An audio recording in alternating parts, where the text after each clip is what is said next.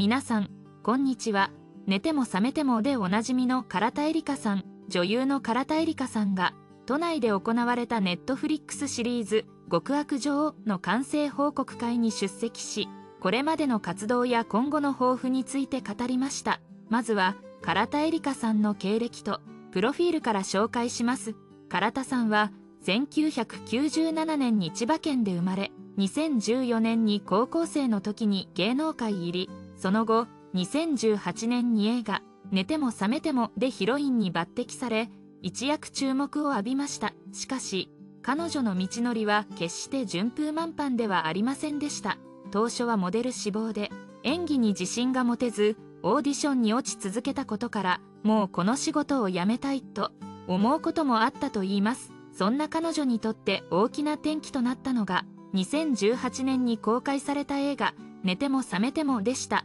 この作品のオーディションで、唐田はヒロイン朝子役に抜擢されます。同作は第71回カンヌ国際映画祭のコンペティション部門に出品され、唐田本人も映画祭に参加、彼女の演技は多くの観客や関係者に深い印象を与えました。この作品での演技が評価され、唐田は第42回山路文子映画賞、新人女優賞や第40回横浜映画祭新人賞を受賞し、一躍その名を広めました。彼女はこの経験を振り返り、できないからやめたいという気持ちから、できないからもっと知りたいという前向きな姿勢へと変わったことを明かしています。これにより、女優としての自信を取り戻し、以降は積極的に演技に挑戦するようになりました。しかし、順調なキャリアの中で、彼女は思いがけない試練にも直面します。2020年1月、唐田は不倫スキャンダルの影響で、レギュラー出演していた TBS のドラマ、病室で念仏を唱えないでくださいを降板することとなりました。また、テレビ東京のオムニバスドラマ、100文字アイデアをドラマにした、で、主演を務める予定だったエピソードも放送が見送られるなど、活動に制約がかかりました。さらに、専属モデルを務めていたファッション雑誌、モア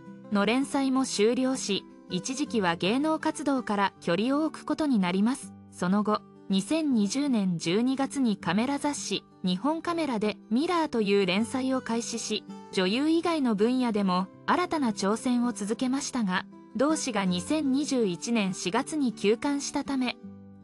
連載もわずか数ヶ月で終了しました。それでも、唐田は諦めず、自分を見つめ直す期間を過ごし、演技への情熱を絶やすことはありませんでした。現在は、日本と韓国の2拠点での活動を展開しており、2024年からは韓国での芸能活動にも力を入れる予定です。彼女は、これからも日韓を行き来しながら、様々な役に挑戦していきたい。諦めずに挑戦を続ける姿を見せたいと、両国での活躍を誓いました。ネットフリックスで現在配信中のドラマ「極悪女王」は1980年代に女子プロレス界で絶大な人気を誇ったクラッシュギャルズの長与千草とライオネス・アスカそして彼女たちに立ちはだかった悪役レスラーダンプ松本の誕生秘話を描いた作品です。女子プロレスを愛するファンのみならず多くの視聴者の心を掴んでいます。この作品で長与千草役を演じる女優の唐田絵里香は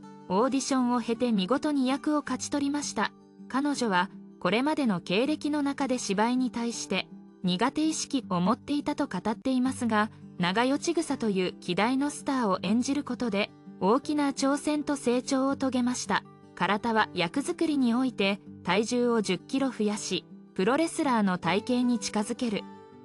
という過酷なトレーニングを行い、作品に対する並々ならぬ覚悟を見せました。唐田は役作りの過程を次のように振り返ります。とにかくひたすら食べました。もう食べるのが嫌になることもありましたが、栄養士さんやトレーナーさんのサポートを受け、食事管理を徹底しました。週に3回のトレーニングと週2回のプロレス練習があり、いくら食べても運動でカロリーが消費されてしまうので、体重を増やすのは本当に大変でした。その結果、彼女は戦える体を作り上げ、体重増加に成功しましたが、彼女の努力はそれだけにとどまりません。体は撮影に臨む前に、長与千草やクラッシュギャルズに関する情報を徹底的に調査しましたマネージャーから長与千草さんが合っていると思うと勧められて自分なりに調べ始めましたインタビュー記事を読んでいるうちに強くあらねばならないと自分を奮い立たせる長与さんの姿に共感し演じたいという気持ちがどんどん強くなりましたと語ります。休養期間中で仕事が少ない時期にこの役を通じて新たな挑戦の機会を得た体にとって長与千草という役は自らを奮い立たせる存在となりました。極悪女王は1985年8月に行われた伝説的な試合。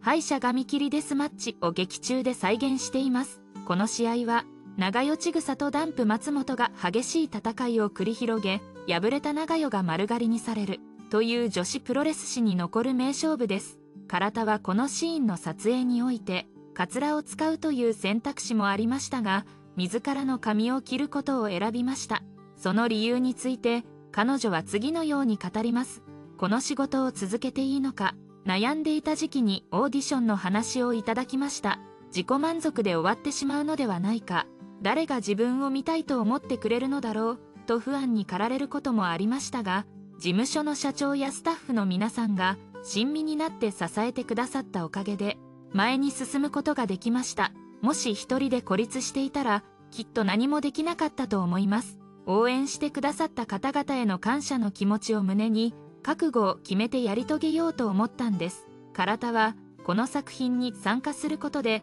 自分の中で新たな目標が生まれたといいます。この現場が終わってもあの撮影の瞬間に戻ることができるような気がします。本当に貴重な経験をさせていただきより多くの方々への感謝の気持ちが生まれました。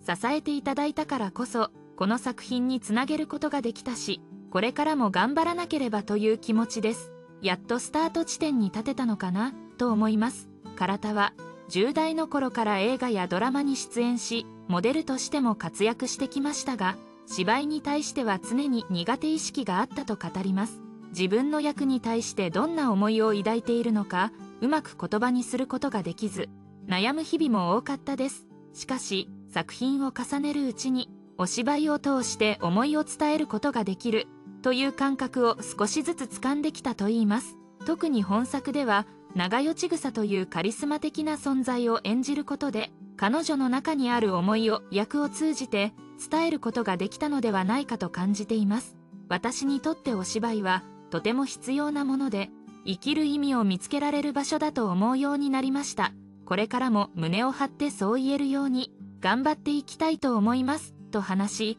今後のさらなる飛躍に意欲を見せています。本作での体の演技は多くの視聴者から高く評価されておりネット上でも唐田エリカの役者魂が伝わってくる垢抜けてさらに魅力的になった。